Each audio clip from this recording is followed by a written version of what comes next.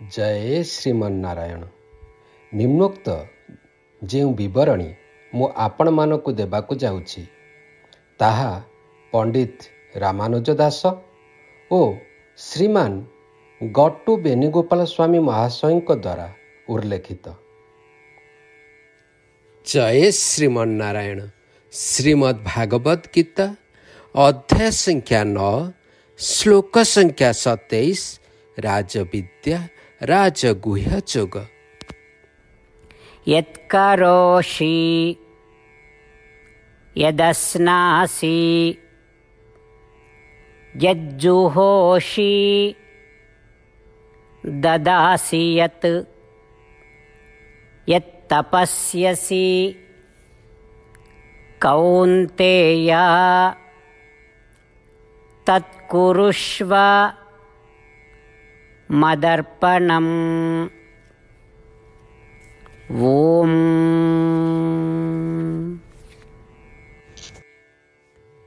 ଗୀତାଚାର୍ଯ୍ୟ ଶ୍ରୀକୃଷ୍ଣ ପରମାତ୍ମା ଅର୍ଜୁନ ମାଧ୍ୟମରେ ଆମ ସମସ୍ତଙ୍କୁ ରାଜବିଦ୍ୟା ରାଜଗୁହ୍ୟ ଯୋଗର ଦିଗ୍ଦର୍ଶନ ଦେଉଛନ୍ତି ପରମାତ୍ମା କହୁଛନ୍ତି ହେ ଅର୍ଜୁନ ତୁ ତୋର ଜୀବନକୁ ବଞ୍ଚାଇ ରଖିବା ପାଇଁ ଯାହା ସାଂସାରିକ କାର୍ଯ୍ୟକଳାପ ଏବଂ ଚାକିରି କରୁଛୁ ତୁ ଯାହା ଖାଉଛୁ ଯଜ୍ଞ କିମ୍ବା ବୈଦିକ ବଳିଦାନ କରୁଛୁ ତୁ ଯାହା ଦାନ କରୁଛୁ ତୁ ଯାହା ବି ସବୁ କରୁଛୁ ସେସବୁ ମୋତେ ଅର୍ପଣ କରିଦେ। ସର୍ବମ୍ ଶ୍ରୀକୃଷ୍ଣ ଅର୍ପଣାମାସ୍ତୁ। ଏହା କହି ମୋତେ ପ୍ରେମର ସହିତ ସବୁ କିଛି ଅର୍ପଣ କରିଦେ। ଏହିଭଳି ଶ୍ରୀକୃଷ୍ଣ ପରମାତ୍ମା ଆମ ସମସ୍ତଙ୍କୁ ତାଙ୍କର ଭକ୍ତ ହେବାକୁ ଆହ୍ୱାନ ଦେଉଛନ୍ତି। ଶ୍ରୀକୃଷ୍ଣ ପରମାତ୍ମା ଆମ ସମସ୍ତଙ୍କୁ ଆମର ସମସ୍ତ ସାମ୍ପ୍ରତିକ କାର୍ଯ୍ୟକଳାପ ବୈଦିକ କାର୍ଯ୍ୟକଳାପକୁ ଉତ୍ସର୍ଗ କରିବା ପାଇଁ ଅନୁପ୍ରାଣିତ କରୁଛନ୍ତି। ଆମର ସମସ୍ତ ଦୈନନ୍ଦିନ କାର୍ଯ୍ୟକଳାପକୁ ତାଙ୍କ ନିକଟରେ ଉତ୍ସର୍ଗ କରିବାକୁ ଶ୍ରୀକୃଷ୍ଣ ପରମାତ୍ମା ଆମକୁ ଉପଦେଶ ଦେଉଛନ୍ତି।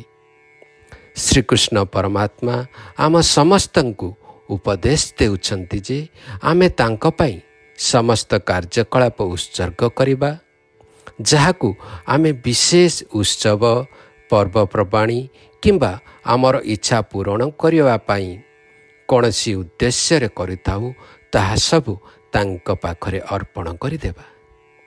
ଶ୍ରୀକୃଷ୍ଣ ପରମାତ୍ମା ନିଜେ ଆକ୍ଷରିକ ଭାବରେ ପରାମର୍ଶ ଦେଉଛନ୍ତି ଯେ ସମସ୍ତ କାର୍ଯ୍ୟ ତାଙ୍କୁ ପ୍ରେମର ସହିତ ଅର୍ପଣ କରାଯିବା ଉଚିତ। ସର୍ବମ୍ ଶ୍ରୀକୃଷ୍ଣ ଅର୍ପଣମାସ୍ତୁ।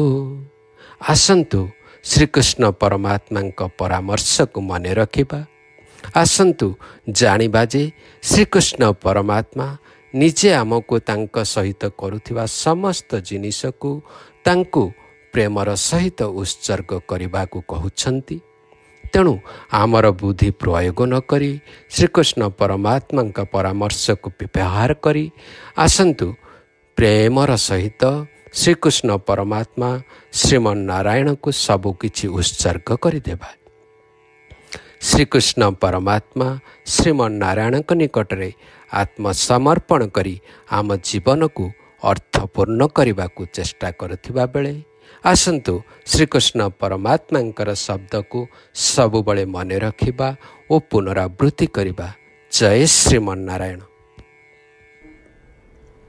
यत्करोषि यदस्नासि यज्जुहोषि ददासि यत् यत्तपस्यसि कौन्तेया।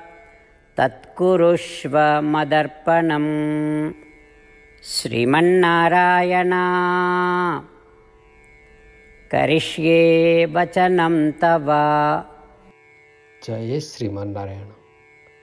पवित्रग्रन्थभगवद्गीता सर ଭଗବାନ ଶ୍ରୀକୃଷ୍ଣ ଅଧ୍ୟାୟ ଅଠର ଏବଂ ଶ୍ଲୋକ ପଞ୍ଚଷଠିରୁ ସତୁରିରେ ବର୍ଣ୍ଣନା କରିଛନ୍ତି।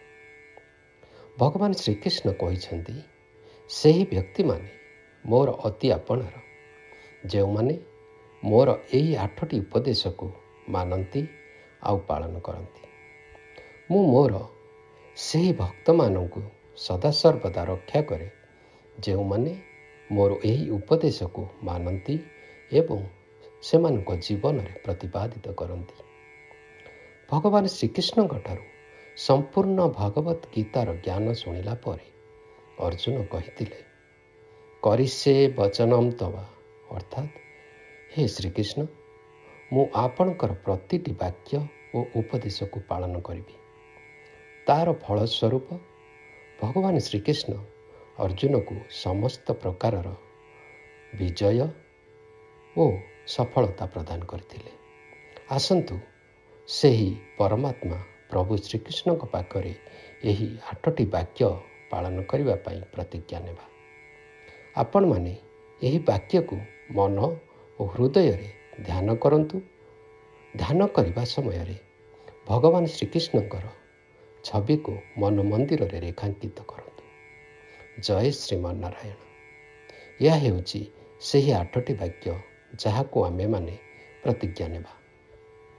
ହେ ଶ୍ରୀମାନ ନାରାୟଣ ଆପଣଙ୍କ ନିର୍ଦ୍ଦେଶ ଅନୁସାରେ ମୁଁ ସଦାସର୍ବଦା ଆପଣଙ୍କୁ ଧ୍ୟାନ କରିବି।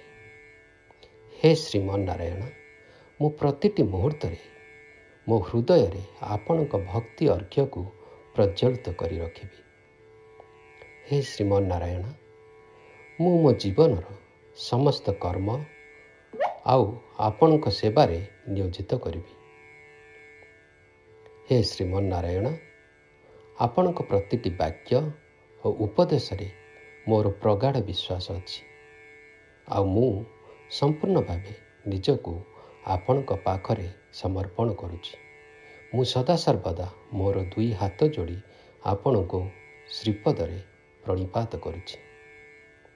ହେ ଶ୍ରୀମନ ନାରାୟଣ ମୁଁ ସର୍ବଦା ଆପଣଙ୍କ ବାକ୍ୟ ଓ ଉପଦେଶକୁ ମନ ମନ୍ଦିରରେ ସାଇତି ରଖିବି।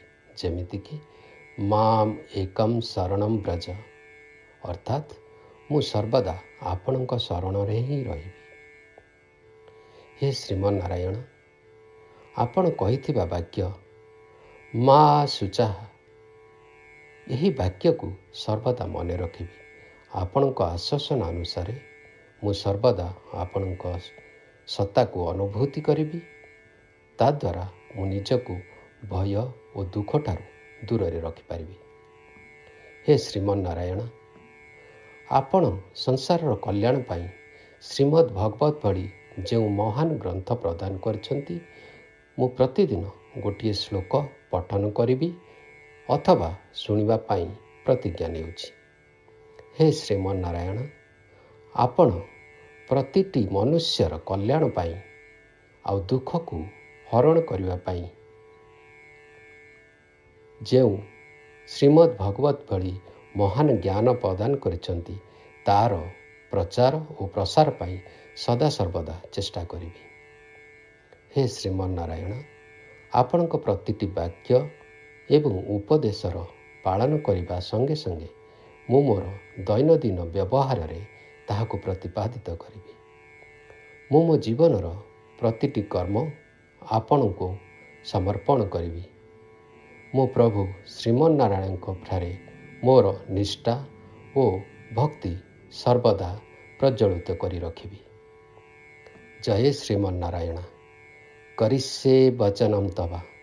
ହେ ଶ୍ରୀକୃଷ୍ଣ ମୁଁ ଆପଣଙ୍କ ପ୍ରତିଟି ଗୀତା ଉପଦେଶ ଆଉ ନିର୍ଦ୍ଦେଶକୁ ମୋ ଜୀବନର ପ୍ରତିଟି କର୍ମରେ ସମ୍ପାଦନା କରିବି ଓ ଆପଣଙ୍କ ପାଦକମଳରେ ମୋର ଭକ୍ତି ଆଜ୍ଞ ପ୍ରଦାନ କରିବି। जय श्रीमन्नारायण। यत्करोषि यदस्नासि यज्जुहोषि ददासि यत् यत्तपस्यसि कौन्तेया तत्कुरुष्व मदर्पणम्। ॐ